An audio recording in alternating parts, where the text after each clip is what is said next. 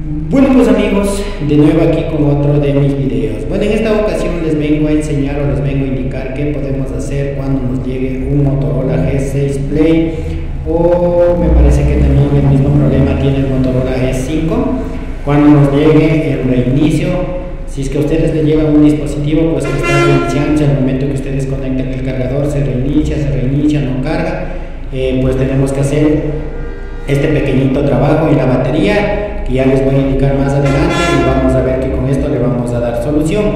Pero no todo puede ser problema de la batería, puede ser problema de software o también puede ser problema de la placa principal. Tendríamos que revisar primero, hacer un chequeo para ver si es que es problema de la batería.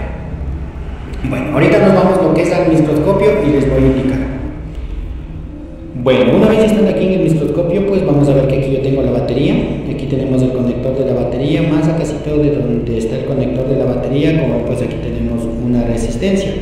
En esta resistencia pues yo le he soldado lo que es un cablecito en la parte de encima sin quitar la resistencia, simplemente hacemos un, un jumper, hacemos un puente como ustedes le quieran llamar y con eso pues le hemos dado la solución a que el dispositivo ya no se reinicie al momento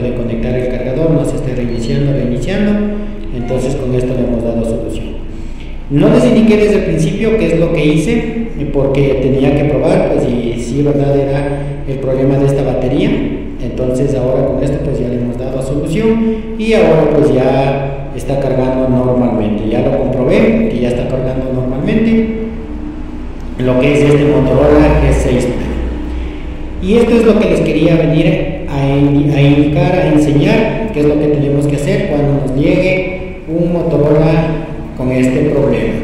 Bueno, en esta ocasión es para el Motorola G6 Play y como les mencioné, puede ser un problema en el Motorola G5 también. Y bueno pues amigos, esto así todo y hasta el próximo video.